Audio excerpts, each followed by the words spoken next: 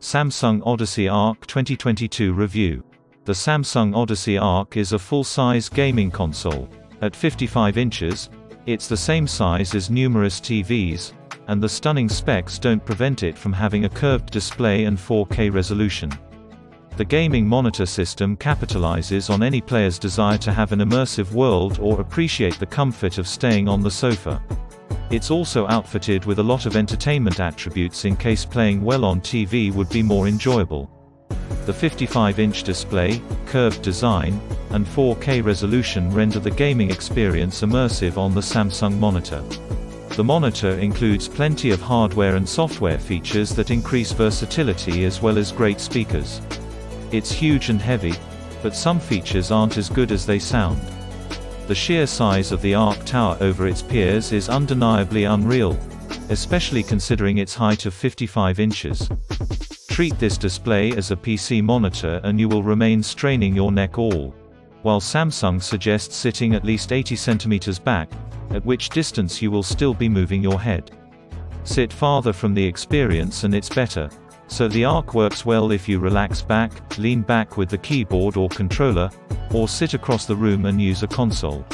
Combining Rio's 4K resolution with the 1000R curve will allow you to have a fantastic experience no matter your situation, whatever the distance.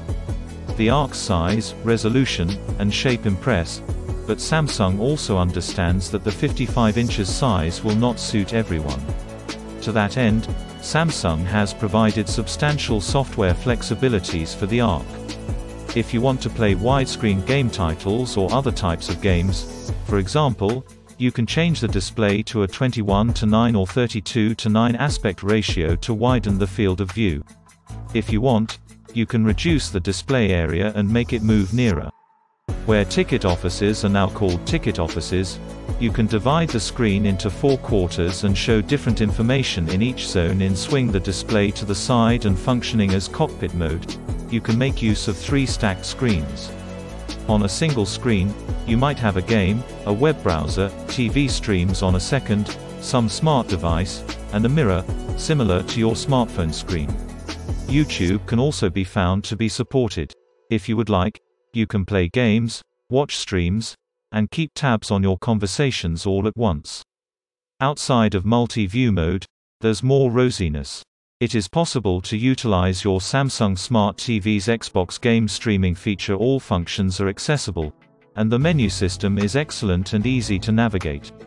The user interface is comprehensive and yay, appropriate to read. The Ark provides a sleek design with excellent image quality. Its high contrast of black pixels at around 0.02 nits stands out, making it ideal for dark rooms. Initially, its screen brightness level was around 90 nits, making it excellent for a cinema room, lounge, or darkened bedroom. The contrast ratio of 45,000 to 1 is a great figure and helps the Ark render vivid blacks along with a great deal of vibrancy everywhere else. That's a better result than can be obtained with conventional IPS or VA screens. On the Ark's display, the brightness level was at 302 nits, which offered a contrast ratio of 4441 to 1, and at its maximum brightness level, the contrast ratio stood at 742 nits, which was 4637 to 1. Generally, the Ark is a large and loud success in most segments.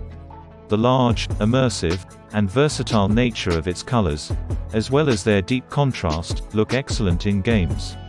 The speakers on it are especially strong, and the Ark does a great job of mixing gaming and television features. If you want big screen gaming or a TV replacement, the Ark is a potent value for price.